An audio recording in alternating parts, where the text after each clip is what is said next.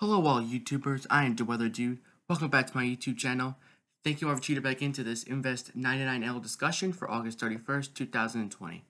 Before I get on with today's video, however, if you guys want to stay up to date with the latest forecast and best forecast from the Weather Dude, then please, every single one of you that is not subscribed, please click the subscribe and the ring and the notification bell so you guys stay up to date with the latest The Weather Dude content. And also, please watch the whole video. Thank you guys so much, by the way, for a thousand subscribers. It really does mean a lot to me and this is taking the next step towards monetization. So please watch the whole video. It really does help out my channel a lot. And also, please give this video a like and share this with your friends. Thank you. Now let's get on with today's video.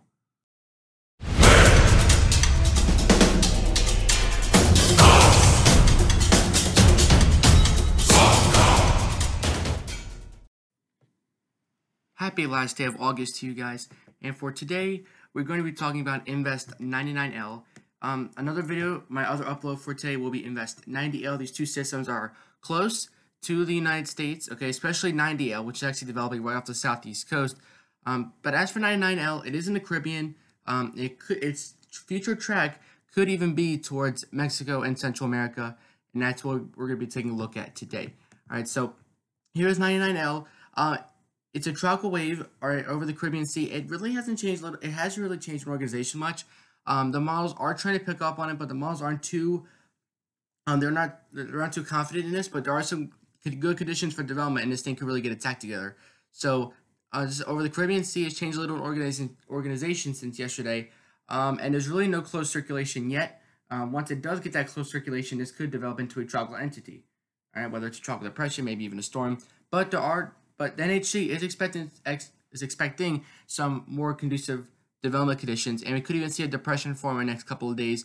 Um, again, moving at an average speed, 15 to 20 miles an hour, that's a little bit faster than what a tropical storm should be moving at, but it's moving at pretty much um, an average speed. So any interest in Jamaica, Honduras, Belize, Guatemala, and Yucatan Peninsula should definitely monitor this storm. It even has a high chance of development in the next two days, as well as within the next five days, but it does have a better chance to develop within, within the next five days. So as of how 99L is right now, see if we can get maybe another so the latest update here has 30 mile an hour winds with 40 mile per hour wind gusts. So it's got some decently strong, it's got tropical storm force gusts, but we need those sustained winds to be tropical storm force to clarify a tropical storm. Um, pressure 1008 millibars, which is starting to go down, so I think we're seeing some improvement on the pressure. All right, rate of circulation is 150 nautical miles, while the maximum wind is 90 nautical miles. So here's how it looks on satellite, and you might be thinking, yes, there is a spin, but the spin is kind of like enclosed in here. It's a very broad rotation. It's moving pretty fast. The satellite loop isn't moving that fast. As you can see, look at the timestamp. All right, the timestamp is moving pretty slow. It's the storm that's moving so fast. All right, it's moving at almost 20 miles an hour, which is pretty fast again for a tropical cyclone. But this, but the center needs to have the center would need to be here, and we have tropical activity off to the northeast or just on the north side of it. It's got to have rain wrapping around it. Right now, we have a low, kind of like a low mid-level center, and convection is sitting on top of it which means we're not really seeing too much development here. But there is a there is a little spin, there is a rotation, but it's very broad and disorganized. And we do have a lot of convection as well. We actually saw another flare up of convection right behind the storm center. So we're starting to see some convection flare up, and that's we're showing some signs of development. So taking a look at these sea surface temperature anomalies, um, as for where 99L is, it's pretty much seeing completely average waters. All right, nothing out of the ordinary. It's pretty much average for what it should be this time of year, um, and probably for its future path as well. Up until it's you know potential Belize landfall, I would say that, you know, it's pretty much sitting right in the middle here in the Caribbean Sea and in some average conditions. So 99L could have um, some okay conditions. We're, we're going to be taking a look at the shear and dry air as well to see how the conditions are for development. Uh, sea surface temperatures, the actual sea surface temperatures are 29. Uh, but if it were to move a little bit farther north towards southern Cuba, we're talking about 30 to 31 Celsius, which is extremely warmer. That's like near 90. All right, but it will be sitting in some mid to about around mid 80s in terms of our water temperatures, maybe close to closer to upper 80s um, as it gets near you know Belize, um, areas around Mexico and Central America. And as for the current low position, it's sitting right at about 14 and a half degrees north and exactly 70 degrees west. So it's pretty much due south of Haiti and the Dominican Republic here, pretty much exa- pretty much exactly due south. Now, as for the model track guidance, a lot of the models actually really bring us into like a westerly motion and southwesterly motion crossing into the Pacific. So they have it crossing over Mexico, right, right, right, near Mexico and Central America. They have it crossing over and entering the Pacific. Uh, really not, you know, causing a threat to the United States. So that's possible. All right. Here's a G. e, or new GEFS model tracks. Um, as you can see, they have it bringing due west. Not really a threat to the mainland United States, but it could be heading towards, you know, again, you know, Jamaica and Mexico, Central America could be in the in the path of this as well. All right. Now the GEPS model tracks getting some new 12Z data in for these. Um, and I, I just set, set this up a few minutes ago, so it's amazing we're getting new data in right now. Um, you can see moving in a westerly motion and then kind of breaking off, maybe moving southwesterly, or maybe continue to move in a westerly motion towards Mexico and Central America. All right, but none of the models are really having this gain too much strength. All right, so obviously that's a positive. Um, but when we look at the model intensity guidance, as you can see, a lot of models make it, you know, like somewhat of a tropical storm where it's weak or maybe even a stronger tropical storm. And a couple models do make it a category two, maybe even three. I mean, one model makes it a four, uh, which is kind of a little bit outrageous for now. But uh, again, a good chunk of the models, a good 85 90% of the models do make it a tropical storm, and that's what it's most likely to be. Either that or it, it would be a tropical depression would be the next uh, next thing. So, looking at the SHIPS diagnostic message here with the G, GFS model, you see the wind shear will actually be going down over time. So, it's remaining 14, 15 knots right now, which is holding pretty steady. Um, but then over the next couple days and even over the next few days, look at this, wind shear drops to nothing. Now, who knows where it could be within the next 84 hours, 96 hours, which is where we take a look at the models. Now, sea surface temperatures, 28, then going up to 29, even close to 31 all right, after 96 hours. Um, as for the storm speed, that will also be slowing down. We're going from over 20 miles an hour, maybe even 22 miles an hour, down to like, you know, 19, 18. Then it kind of plummets to around 10 or 12 miles an hour uh, over the next, you know, few days or so. And the heat content, wow. All right, I believe when I was tracking Laura, I saw like heat content well over 100 for like one of the first times, and wow, 128 for the heat content. So this storm has a lot of warm water to go through. Not only that, but it's that warm water that deep below the ocean surface that really gets that storm going here. Um, pretty much over the next few days, we got some very high heat content values, and now, I mean, this storm will have no shame in developing here. So here's the GF, GFS model, and the models, like I said, like especially the GFS and the GEM, aren't really picking up on it. They don't really have too much confidence in it here's where the storm is right now. The, the circulation or the quote unquote low, low center, there really isn't a low center yet, but that's where the X marks where the storm is. If you go to the NHC or latest update, you can see that's pretty much where it is as well, right about there. All right, so looking at the GFS model, really not much. I mean, we see a briefly closed low circulation. I mean, it kind of merges with some other moisture, not too much. I mean, it just looks elongated, stretched out, doesn't look too impressive. All right, and then they have it moving west and then southwesterly. Maybe some of its moisture goes to Mexico. Maybe some of it crosses into the Pacific, and who knows where it'll go from there. But after 96 hours, this storm will definitely be on shore. Um, whether it's Mexico, maybe Central America, maybe even crossing into the Pacific eventually. Now, cyclonic, usually when I pull the cyclonic vorticity signature, I usually say that you can see the storm a lot better.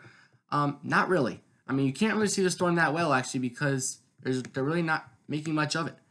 All right, even though the NHC gives it an 80% chance of development, which is saying something, um, GFS model, obviously there's only one model, we'll be taking a look at more as well. They kind of have its moisture dropping into the Pacific and maybe developing there. Um, but the NHC did give the development chance inside the Caribbean. So they're saying it's gonna, if it does develop, it will develop inside the Caribbean, if it does. All right, so that's something we're to have to keep our eyes on. All right, and then maybe, who knows, something, hopefully I'll be in tomorrow's video, maybe some more tropical waves, some more potential tropical cyclones could be uh, spinning up as well. So looking at the gem model here, um, they're you know they're a little bit better at identifying the storm, but it's kind of hard to find at times as well. It's actually right here over the next 54 hours. Here's 2 o'clock p.m. on September 2nd. You see it's kind of meandering around Mexico, meandering around Central America. Uh, really not much, not much to see with this. But we do see a little tighter storm kind of form in the Pacific, maybe by the 4th of September. Um, and then maybe a low, a closed low circulation develops and something happens in the Pacific. All right, kind of like it was like the opposite of Amanda, where it formed in the Pacific and crossed over into the Atlantic. Well, this could be the opposite from Atlantic to Pacific. All right, with 99 now because none of the models are really steering us towards the United States, which in a sense, I mean, I mean, let's admit that's some that's some good news, right? I mean, the last thing, I mean, ever since you know Laura and Fay and Isaias, I mean, the last thing the United States really needs uh, is another tropical entity, especially since you know season is, is getting so active. Now, looking at the vorticity signature. Uh, actually, as of right now, the 2 p.m., they actually have a little, little, area of lavender there, so they're actually saying it looks pretty good right now on the vorticity signature. It's a very small area, and like I said, small tropical cyclones can form quickly, but can fall apart really quickly. All right, so I think just battling, battling a little bit of shear, maybe even a little bit of dry air as well. All right, but then it kind of gets mixed up with Central America. All right, by 2 a.m. Thursday, it really doesn't look like there's much left of this thing at all. Um, until it crosses, maybe gets to like a like a redemption chance as it crosses into the Pacific. You can see some cyclonic vorticity signature values maybe pushing 60, 70, which is actually really good for this particular map. All right, then it kind of drops south in the Pacific, and then maybe comes on shore on the western shore of Mexico is a very strong tropical cyclone. So we might be watching out for that as well. That is certainly a possibility. And we are now just getting the Europe model, the 12Z model run, the latest model run from the European model here. So as you can see, the cyclonic vorticity signature, there's just 99L right there. All right, and as you can see, it doesn't look like there's much left of it. I mean, here's 24 hours. There it is right there. All right, just some brief yellow, but no or like orange, deep orange, or red, like 90L here. I'll be doing a video on that again, in case you guys don't know. I'll be doing a video on, on that later today as well. All right, just a little bit actually, so Hopefully you guys will stay tuned for that. But no orange, no red, no deep vorticity values to clarify that, you know, really to make this thing tropical. Um, like I said, when it does, if it does drop into the Pacific Ocean, it goes west and drops south, um, kind of like an emotion like this, into the Pacific, maybe it could develop. But the steering pattern is not really grabbing a storm and tugging it into the Gulf, because if it did, all right, if it crossed over the Gulf, we, it has some good times developing there, because the Gulf is a good spot for tropical cyclones to develop. But when you look at the tropical intensity index, looks all red, which is good actually. It means highly favorable tropical, you know, cyclone forming conditions. The only thing I do see wrong, however, is the dry air. Wind shear right now over next, you know, now over next day, maybe two. It's not bad. It's manageable. 15, 20 knots or 15, 20 miles an hour, uh, somewhere around that. But as for the dry air, eh, I mean, there is some decent dry air ahead of it. All right. Then once it gets to near Mexico and Central America, right around this area here, that's where there's a lot more dry air. Even when, even if it were to first drop into the Pacific, look at this. Eastern Pacific Ocean, we also have some dry air hovering around there too. So I think there's a lot of dry air in the storm's path um, behind all these hurricanes that we've, had, that we've been having. Behind them, there's a lot of dry air forming and in the Caribbean, uh, in the southern Gulf of Mexico, Bay of Campeche there, and again, the western Caribbean as well. All right, it could be heading to some decently high dry air or, or high dry air values. So that's not going to be good for this for this storm developing. And here's another look at the wind shear. So here's where the storm is right now. Actually, where the storm is actually located now, wind shear has actually been dropping 5, 10 knots over the past 24 hours, which is good. All right, so here's where the storm is now. As it continues its journey through the Caribbean, like I said, not bad, manageable, 10, 20 knots. But then once it makes landfall, or wherever it's supposed to make landfall around Belize or so, that's where the dryer starts coming in. So this did or, or the wind shear, excuse me, comes in, as well as the dry air. So I think the problem with this storm is it's not going to have enough time to develop, and the models aren't really too confident in it. So this storm may have a little bit of a hard time trying to develop because it doesn't have too much time. And right now conditions look good, but in the in the near future, this may not have uh, too good developing conditions. Now, the ensemble-based probability, when the NCP, the FNMOC, as well as the GEM and European models, these bunch of four models here, do give this thing a pretty good shot. I mean, 90 to 100% chance of development, like over a 90% chance. All right. So they are pretty confident in this. And then when you look at the NCP ensembles, they give this like like a huge area of 100% development chances and then have it tracking towards the west. So I wouldn't give this thing a 100% chance to develop. I wouldn't even really give it a 90. I'd give personally give it a 60 to 70% chance. Um, I still think there's a good chance it could develop, but it, it will have to put up uh, with a couple of mini battles for this thing to get together and really start developing, but it, certainly does have the possibility to develop. So thank you guys for watching today's video. Again, please consider subscribing and checking out my Invest 90L video as well that I did today. So thank you guys so much for watching. I am the Dude signing off. Until next time, catch you guys in the next video.